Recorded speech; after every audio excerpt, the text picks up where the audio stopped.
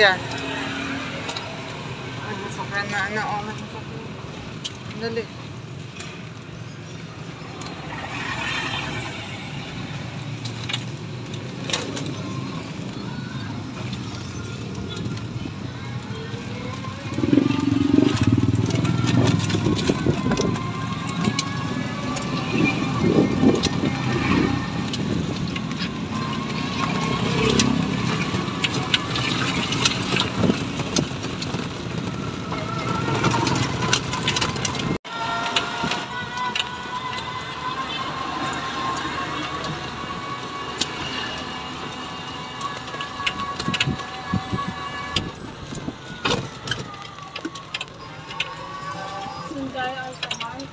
Sunday ay kamay. Oo, oh, wag yung ano.